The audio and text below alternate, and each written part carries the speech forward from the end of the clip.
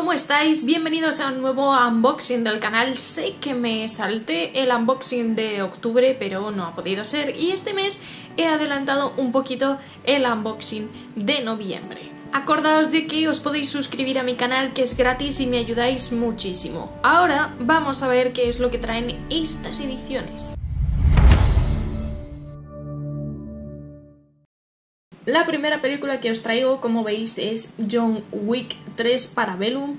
Mi querido John Wick, una saga de películas que me encanta y en el canal tenéis la crítica de esta última entrega que me gustó, pero bueno, tampoco me entusiasmó tanto como las anteriores. Lo que pasa es que el listón está muy alto y esta es la edición en Blu-ray que ha salido hace nada y vamos a ver qué es lo que tiene dentro y ahora comentamos un poco el contenido adicional. Aquí tenemos la caja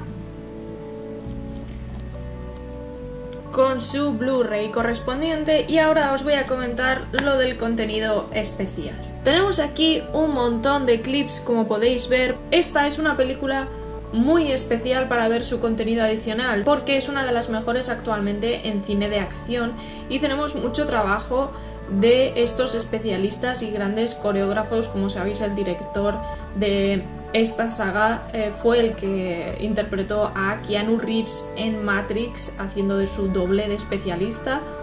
Y creo que es una gran oportunidad para ver el gran trabajo que han hecho en, en estas escenas de acción que son muy especiales, que siguen aumentando en dificultad, incluso con esa escena con eh, los perros marciales, en fin, mm, ¿qué os voy a contar? Y sobre todo una muy especial que creo que es una de las mejores, que es la escena con los cuchillos. En fin, eh, si la habéis visto, me gustará saber qué pensáis de esta peli y de sus efectos especiales, de estos especialistas, de cómo han trabajado en esta saga y si no la habéis visto, pues os la recomiendo bastante. Gran película de acción y eh, quizá no para mí la mejor de la saga, pero sí que es muy especial porque se nota que han puesto muchísimo trabajo y que hay una evolución bastante grande, cosas muy interesantes en el universo de John Wick. Una ocasión muy especial para conocer mejor el trabajo de estos artistas. La siguiente película que os traigo es Los muertos no mueren. Muchísimas ganas tengo de verla.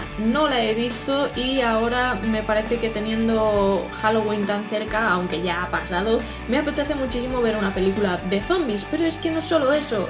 O sea, fijaos en el pedazo de casting Bill Murray, Tilda Swinton, Steve Buscemi, Caleb Landry Jones, Iggy Pop, RZA, Selena Gómez, Adam Driver, Chloe Sevigny, Danny Glover, Rosy Pérez, en fin, o sea, e, e, esto es un no parar de actorazos y una comedia que tengo muchísimas ganas de ver, la verdad, sobre todo por su director, un director muy especial y aquí podemos ver el contenido adicional de la película que es Bill Murray, el cazador de zombies estrella, por favor, es, o sea, eso hay que verlo porque simplemente con, con ese contenido adicional esto ya vale la pena.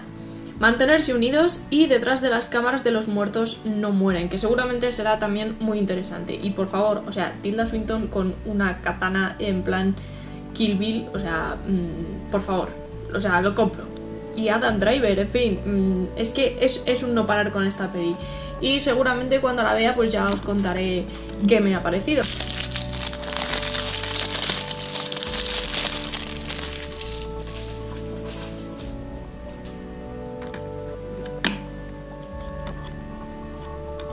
Aquí tenemos el interior con esa mano de zombie.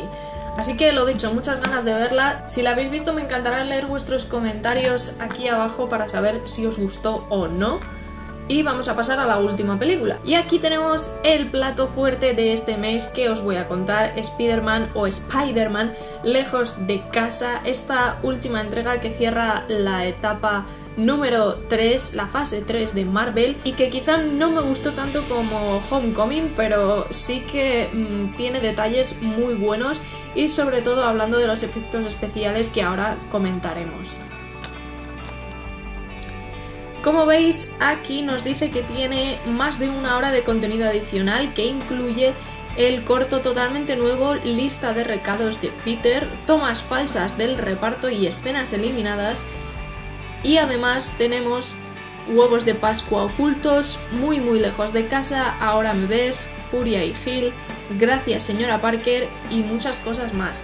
Esta es una edición sencilla de Blu-ray de esta película, pero creo que merece mucho la pena por todo el contenido que nos han metido aquí, sobre todo ese corto, las tomas falsas y las escenas eliminadas y seguramente una de las cosas más importantes de esta película y una de las escenas más imponentes es una escena que comparten Spider-Man y Misterio, que creo que los que han visto la película saben a cuál me refiero, pero técnicamente es una de las mejores actualmente por esos efectos especiales tan realistas y creo que merece mucho la pena ver cómo han trabajado y lo que hay detrás de todo ese trabajo técnico en cuanto a efectos especiales. Así que para terminar vamos a ver cómo es esta edición en Blu-ray por dentro y acabamos por hoy.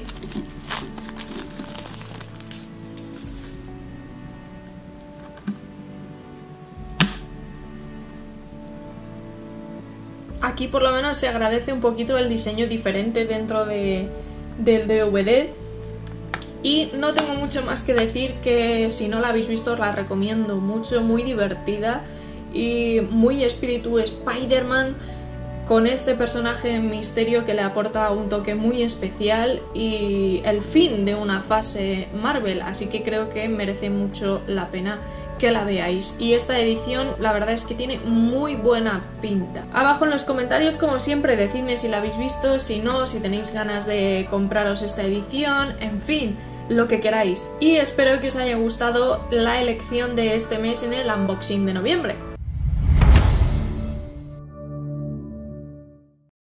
Espero que os haya gustado el vídeo de hoy. Ya sabéis que aquí abajo en los comentarios me podéis decir cuáles de estas ediciones os ha gustado más, si las vais a comprar, si vais a coger alguna de las ediciones especiales porque hay alguna muy chula. Nos vamos a ver dentro de muy poquito, cuidaos un montón y disfrutad del cine.